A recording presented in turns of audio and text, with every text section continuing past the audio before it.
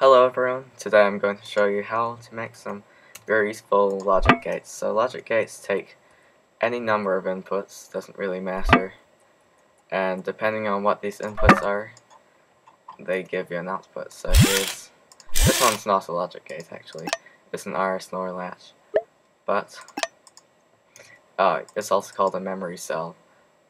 So you can press the button, it'll, it'll remember what you what you press until you reset it. So this is uh, my little sensor thing down here. When the condition is true, uh, it will extend, so press... Oh, gotta set my controls first. Ah, fix it, that's why.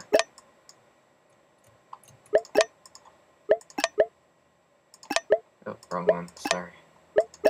Okay, so I I'm pressing one and I'm not pressing one. So the circle is still up. It has successfully stored that information. Now I can press 2 and it resets it. Uh, next up, AND gate. Go like this. The reason I use the arrow keys is so they stay, all the shapes stay on the same horizontal axis.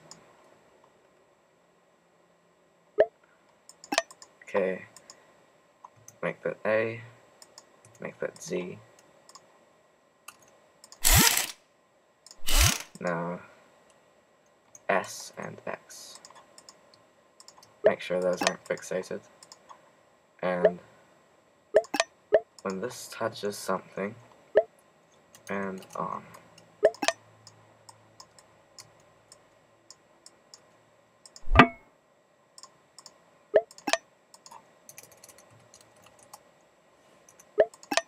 Okay, now next step is to make them floppy and add two little thrusters so they automatically retract.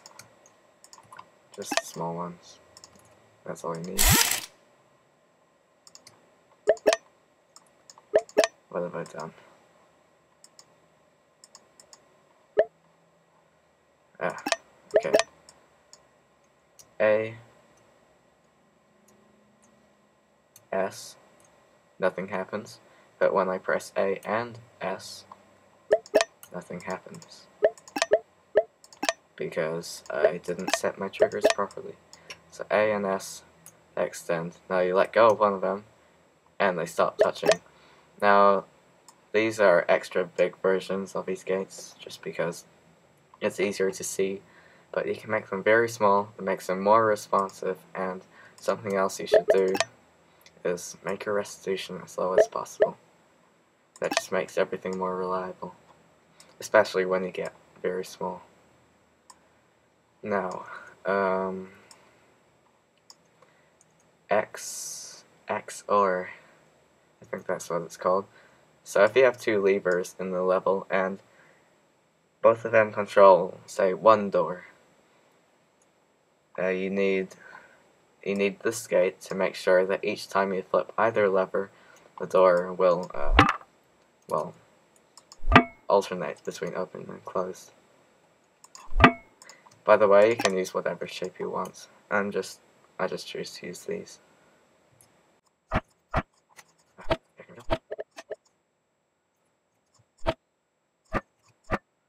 I'm using a bunch of because I want to be able to slide easily. Okay, uh, this should be automatic. I don't think it needs to be hard. I'll just use this.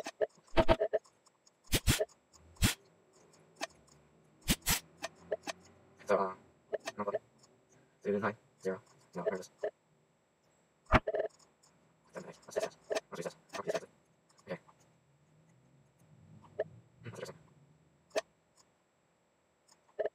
First ones are up, one you have to do.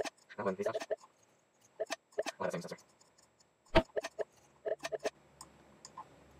So now, when you toggle one of them, uh, each time it goes off, just like pressing buttons normally.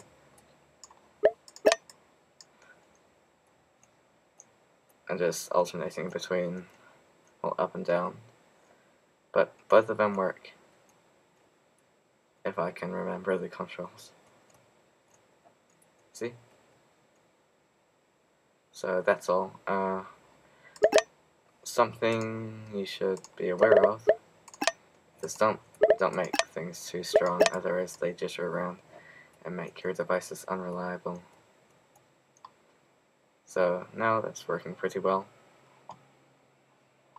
There's your XOR gate. Okay, one more thing, uh, the NOR gate.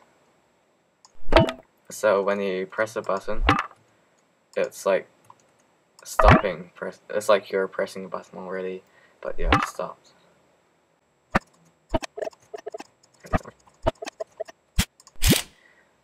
Okay, I'm going to make M. Well, actually you don't need that button at all. I always use Q for controls you don't use. This one is really simple, just thruster to make it extend automatically.